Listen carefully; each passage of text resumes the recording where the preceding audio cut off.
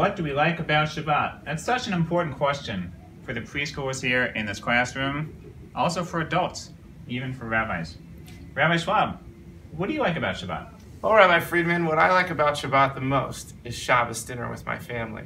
And one of the most amazing moments during Shabbos dinner is when I get to bless my children. Oh, Birkat Yeladim. Where did that, people have been doing it forever. But where did that practice start? What's amazing about this practice is that it started all the way back in the Torah. Our patriarchs and matriarchs were blessing their children for so many years. And then the rabbis ordained that we should give the blessing that the priests give to the congregation of Israel, which is also in the Torah. So every time I give a blessing to my children, I'm giving an ancient blessing that has been used for generations in our people's tradition. So that explains sort of why this started and why it's been done for so long. But why do you find it meaningful, compelling to, to continue it in 2018? It's one of the favorite moments in my week for me and for my kids and my entire family because I get to take a moment out of my week to give a special blessing to my child. It's a crazy week and crazy lives that we live, and it's nice to be able to take a moment and create a sacred time to give blessing from one generation to the next.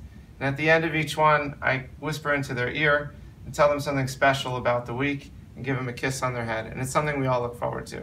I'm going to ask your kids what you whisper to them. You should. um, becoming a parent, one of the best parts was the ability or the chance, the opportunity to bless my kids on Friday night too. It's one of many examples of Shabbat bringing us all together. Yeah, it sure is. We love it so much. On Friday night, it's the custom to bless your children around the Shabbos dinner table. It's a special moment for each parent to connect with their child.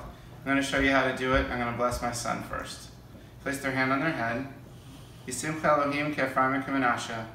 Yivrecha Adonai v'yishmerecha. Yernai panav elecha v'yichuneka. Yisadonai panav elecha v'yisem lecha shalom. Amen. May God make you like Ephraim and Manasseh. May God bless you and keep you. May he shine his face toward you and show you favor. May he shine his face toward you and grant you peace. Amen. And we also do the blessing, of course, over the daughters. Yisimech Kesar Rivka Rachel Valeah. Yirecha Nevishmerecha. Yernai panav elecha v'yichuneka. Yisadonai panav elecha v'yisem lech shalom. Amen. Amen. May God make you like Sarah, Rivka, Rachel, Valeah. May God bless you and keep you. May he shine his face toward you and show you favor. May he shine his face toward you and grant you peace. Amen. Amen.